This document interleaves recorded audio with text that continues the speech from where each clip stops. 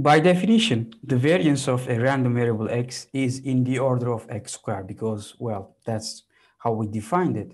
Uh, that's precisely the variance of x equals expected value of x minus the mean squared. Okay, so it's in the order of x squared.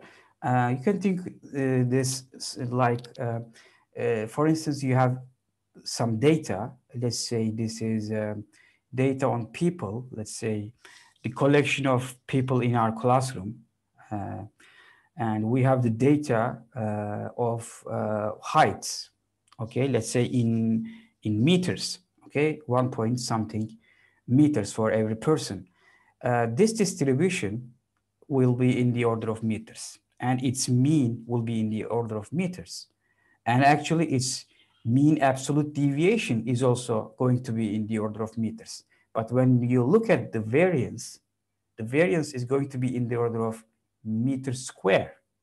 Okay, so we would like to have a measure in the same order as the data or the random variable itself to, to make a better sense of uh, the dis dispersion of the distribution.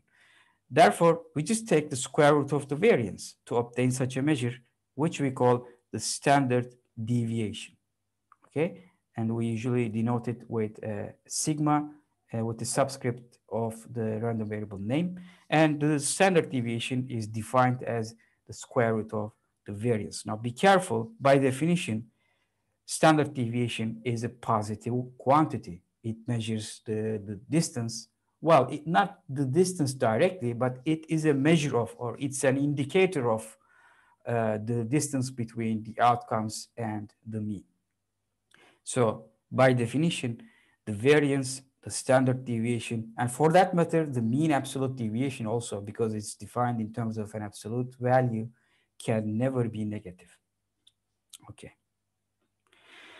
And let's uh, look at some examples next. We will start with a discrete distribution and then we will do a continuous one.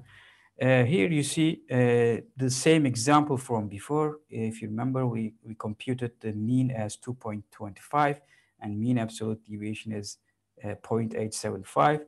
Now we will compute, compute the second moment and then the variance and the standard deviation for this distribution. If you just apply the definition, the second moment can be defined can be can be uh, computed by this sum, k squared.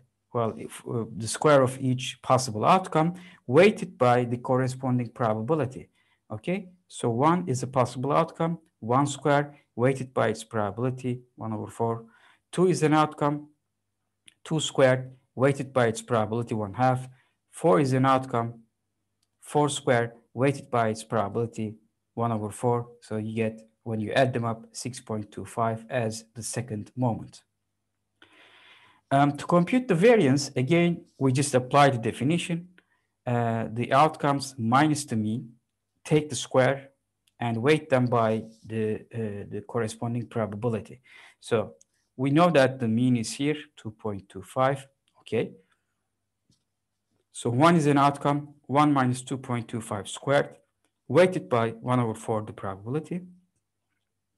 2 is an outcome, 2 minus 2.25 squared, uh, weighted by the probability 1 over 2.